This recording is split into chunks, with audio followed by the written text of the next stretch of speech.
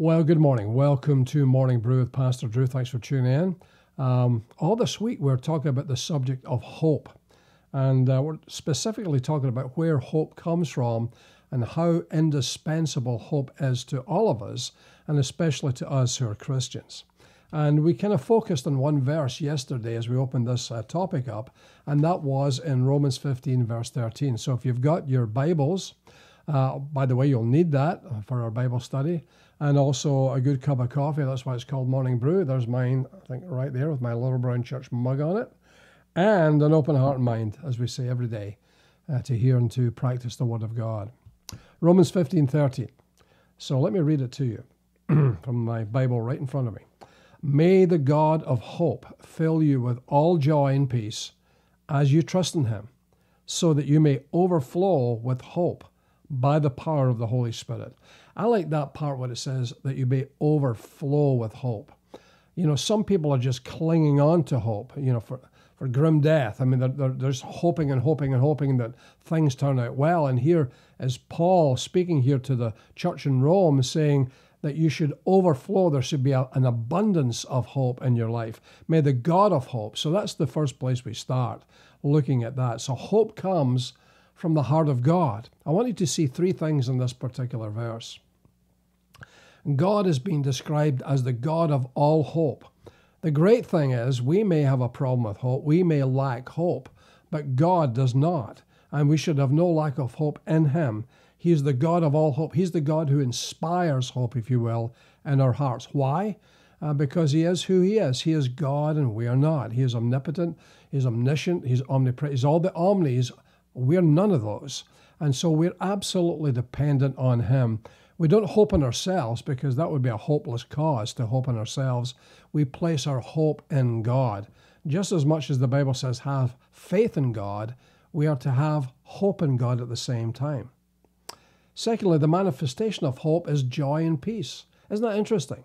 That when somebody has real hope, not a transitional, transitory kind of hope, not the, the hope that the world brings that comes and goes, oh, excuse me, but the kind of hope that produces joy and peace in our hearts.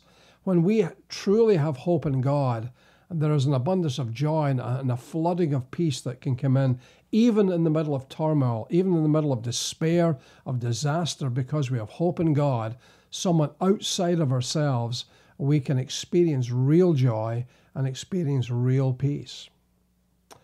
The third thing I want you to note is the secret to receiving hope is to trust. May the God of hope fill you with all joy and peace as you, there you go, as you trust in Him. That's the key. We need to put our faith and trust in Him in order to tap into that hope that He wants to give us. And if we put our faith and trust in Him, then we can overflow with that hope that He wants to give us. And the, and the, the conduit, if you will, for doing it is by the presence of the Holy Spirit who I'll remind all of you lives within us. Those of us who are believers, the Holy Spirit comes and, and makes his abode in us, lives in us. And so, through the indwelling of the Holy Spirit, as we put our faith and trust in Christ and in God, then the Holy Spirit Himself uh, causes us to overflow inside out. Like a, like, in a sense, like a dam bursting its banks, a river bursting its banks, overflowing that's how we should be overflowing with hope in every single circumstance.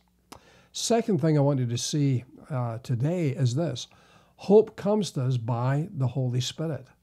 Just mention that, Romans 15 13, that you may, be, that you may overflow with hope by the power of the Holy Spirit.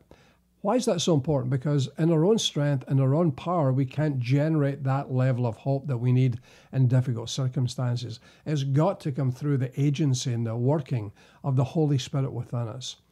Imparting hope is part of the Spirit's activity, if you will, for the believer. It's part of His anointing, part of what He does for us. And so we are we are well covered. We have God the Father, we have Jesus the Son, and now the Holy Spirit indwelling us that can generate that hope by His own power, not by ours. So if you're in a position sometimes where you're involved in a hopeless cause, you feel as if there's nowhere else to turn, and that things just seem gloomy and dark, and and you know you can't navigate this particular journey that you're on. It's so difficult. You can't see the you know, to mix a metaphor, you can't see the wood for the trees. Then trust in the Lord. Put your trust and your faith in Him and allow Him, by the power of the Holy Spirit, to generate that hope within you that will spring up and overflow. And the good thing about the word overflow is that when something overflows, it doesn't just affect you, it affects other people. And so, how many times have you found in your life when you've put your faith and trust in Him, and even in the middle of gloom and despair, something happens, something snaps, something changes, and you begin to overflow uh, with joy and peace because of that hope that's welling up within you? Guess what? It affects other people. They see that and they are touched by the hope that overflows from your heart, and it may give them hope in the situation they're dealing with. So that's how it works. Tomorrow, we're going to talk about how hope comes through the Word of God itself and how hope comes in the person of Jesus. So, by His grace, we will see you tomorrow. Bye bye.